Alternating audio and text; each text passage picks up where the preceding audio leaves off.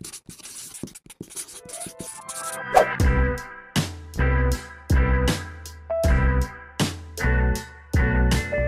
there, Caliente family. You know me, my name is Matt Moninger. I'm the beverage director here at Caliente. And I'm with Bob Gera. He uh, is rep representing Fatheads today. We wanted to talk to you about the second half of our February Brewery Month promotion, which is uh, Strange Magic. Uh, Bob, do you want to tell everybody a little bit about yourself? Absolutely. Uh, my name is Bob. I'm the uh, regional sales manager for Fatheads, and I'm very excited to uh, have an opportunity to be a part of the Brewery of the Month program here at Caliente.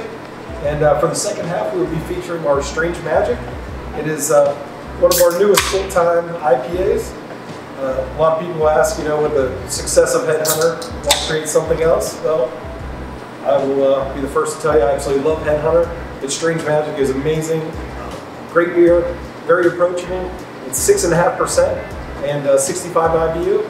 And uh, the reason I say it's very approachable, uh, it has tons of hop flavor. But the Headhunter at seven and a half percent, you drink three or four of those, you'll be. Uh, I, I dub them head hurters. Um, but uh, so drinking uh, three or four strange magic, strange magics are a lot easier. So you'll see the beautiful pale golden color, and just popping that open, I can just get all that great hop aroma through my mask. So we've gotten into a little bit of the statistics of the beer. Uh, you know, what we need to talk about is the flavor, the aroma. You know, what do you taste? What do you smell when you take a drink of it? You get a lot of good citrusy flavors. Uh, that lends itself to uh, the hops that we use. We use a lot of Citra, Mosaic, Warrior, and uh, Simcoe.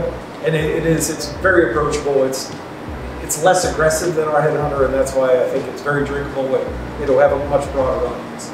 Yeah, absolutely. I mean, there's a lot of flavor in there, not a lot of bitterness. I mean, it's got the perfect amount of bitterness to to uh, to complement the body of it. It's not light by any stretch of imagination, but it's not heavy. It's just uh, kind of perfectly crafted. The bitterness and the, the flavor and the aroma just are really, really great together. Um, I love the flavors as you mentioned. I love that kind of like um, like kind of tropical fruity uh, basis it's got there, but then you do get the citrus you do get a little touch of pine. And it just, you know, I'm excited to have some food with this. Um, but first, I want to actually talk a little bit about Fatheads uh, in Caliente. You know, um, you and I have known each other for, for years in our various previous lives. And, uh, you know, Caliente has done a lot with Fatheads in the past. I mean, Fatheads to me is kind of like the local brewery. It's not, it's not local, being uh, located in East Olmsted or West Olmsted? North Olmsted. North, neither, North Olmsted. Well, that's that's our original pub. Uh, now all of our beer is brewed at our production facility in Middleburg Heights. Okay, okay, nice. But I mean, everybody here knows. I mean, Fatheads was like the bar was the original craft beer bar in Pittsburgh in the South Side.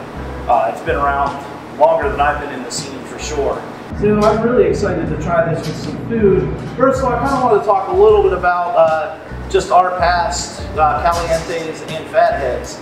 Uh, you know, we've done a lot of promotions in the past. Unfortunately, these days we can't really do events, but you know, we've worked together in the past and we've done a lot of a lot of brewery months, a lot of standalone events. Um, Pittsburgh Craft Beer Week. Oh yeah, we did that. Yeah, we did that great with the ice cream. Yes. Yeah, like, a couple of years ago. That was uh, that was the best. So I'm looking forward to the day where we can actually we can actually do something like that again. But what I kind of want to mention right now is we're going to do a tasting with some of our Lent menu, and we think that the Strange Magic, the uh, you know the, the whole Mardi Gras theme, um, is going to go great with our with our Lent menu. Um, so I guess without further ado, let's uh, let's get the food. Speaking of strange magic, where did this food come from? I have no idea, but this all looks amazing. Oh man, I can't. This is like my favorite part of the day right now. So uh, these are all items from our Lent menu. We have our fish and shrimp, shrimp platter. Uh, it comes with some fries. It also comes with a side of ketchup and tartar sauce. We have Boom Boom Shrimp, which is uh, our take on Yum Yum sauce. It's got kind of a you know spiciness. I'm going to let you try those and you can talk about it. We have our hot pepper cheese balls, which are probably my uh, second favorite thing on the menu. And it comes with our black and gold sauce, which is uh, is mustard based. Uh, it's Carolina barbecue.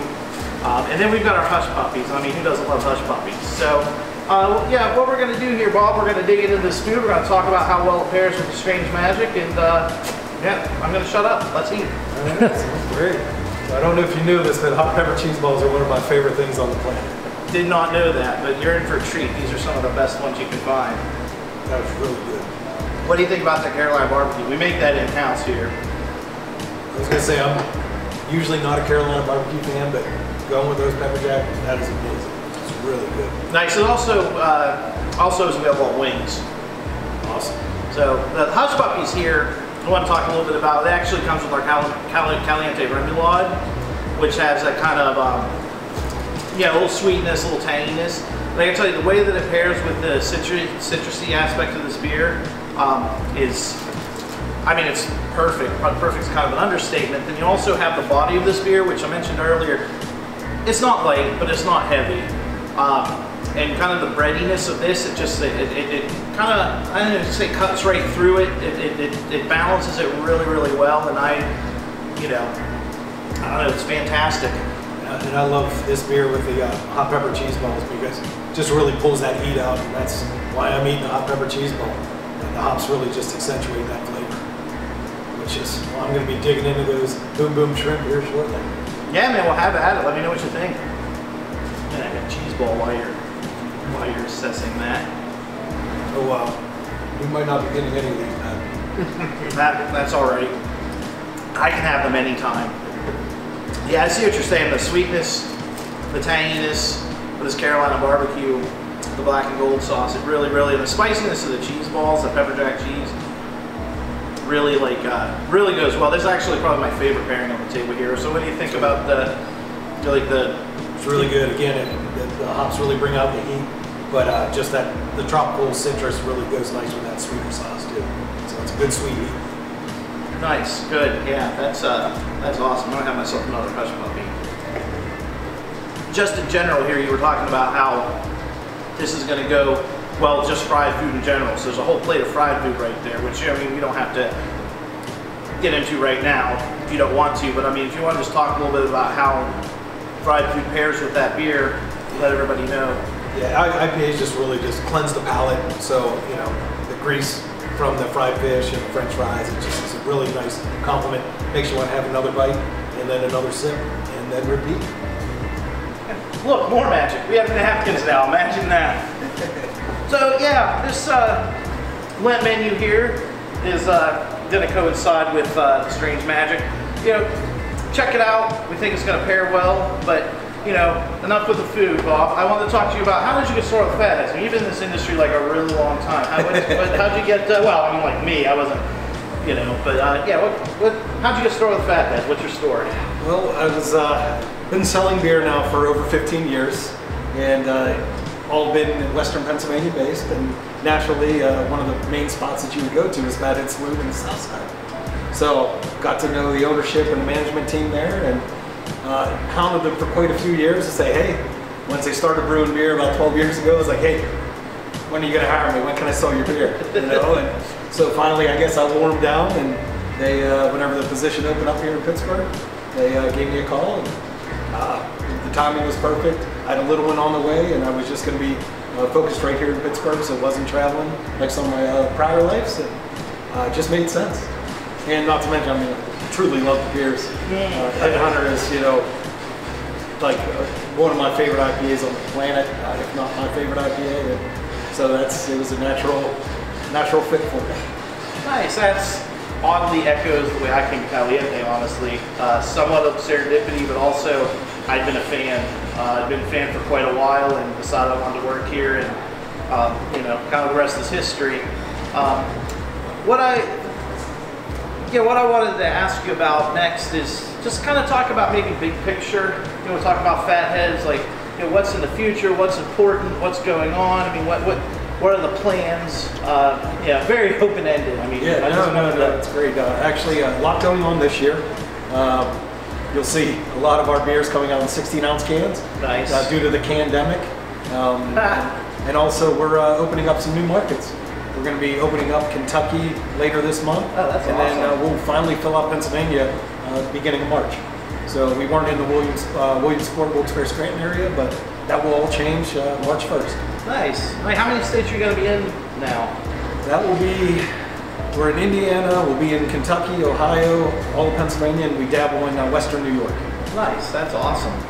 Well, it's good to hear things are looking up. I know it's been frustrating the past, uh, you know, nearly a year now. So it's good to see that uh, you mentioned the pandemic. You know, for a while there, I know we were afraid we weren't going to be able to get cans. There was an aluminum can shortage, honestly, for quite a few months. So um, I guess that's not a problem anymore. You're able to source them, and It's still a problem, we just have to be creative on Yeah. what we do. Uh, As you'll see, uh, the first half of uh, the Brewery of the Month feature, we have Bumbleberry, which are in bottles. Uh, That's a beer that translates okay to bottles. We're trying to keep all of our IPAs in cans.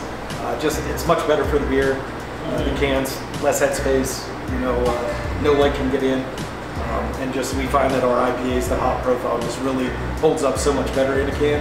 So we're trying to do everything we can do Ah. to keep our IPAs in cans. Uh, so Bumble, uh, you know, that's an easy one. We already had bottles for it. Um, other beers that we try to put in a 12 ounce, uh, we have to make a shift and do 16 ounce cans. So you'll see our Groovy Juice, which is our uh, brand new year-round hazy IPA. That'll be in 16 ounce uh, four packs. Our uh, latest um, seasonal that just came out, our Special Operations. Uh, that's also a hazy IPA that we collaborated with Breakside Brewery out of Oregon. Okay. So that'll be in 16 ounce four packs. Benjamin Danklin, which traditionally was in 12 ounce, will be 16 ounce. And then we have two brand new uh, seasonal IPAs going to be in 16 ounce cans coming out quarter three and quarter four. wow. So tons of stuff going on. Yeah, I guess keep an eye on our draft list and our coolers for all of that. That sounds fantastic. I know the special operations uh, that you guys did. Um, yeah, that went over really, really super well here. I was really, really kind of do a little bit of uh, talking. I think to get that one it was so limited, but uh, we got it on our. Uh, I mean, all of you out there in Caliente land uh, really loved that one. Well, Bob, I mean, I appreciate your coming today. I appreciate bringing this fantastic beer. Uh, you know, you're invited back anytime. I'm looking forward to doing stuff in the future with you. Um, you know, I'm going to let you take some of this food with you because I, I'd love to, but I can't eat it all. I appreciate that. Um, so, yeah, I mean, do you have any parting words for our, our friends out there? I just uh, really appreciate you, you giving us an opportunity to showcase some of our beers and to pair our uh, delicious beers with your fantastic food.